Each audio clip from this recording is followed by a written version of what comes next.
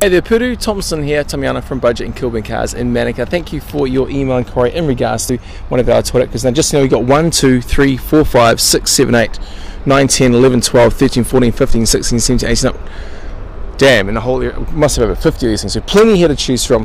Still here in Vail. We're open Monday to Saturday, 9 to 5.30 and Sunday from 10 to 4. We've been selling cars for 37 years and we do sell over a couple hundred cars each and every month. So, can all look after. This one is a 2015 model. No belt sorry about at all. No timing belt, no cam belt, no conditioning belt, no power steering belt. No accessory belts whatsoever. Long life transmission, long life. These aren't just cheap on gas and buy, they're more powerful as well. They are also low cost of ownership, very cheap to service, and very good safety rating, five star safety rating with vehicle stability control.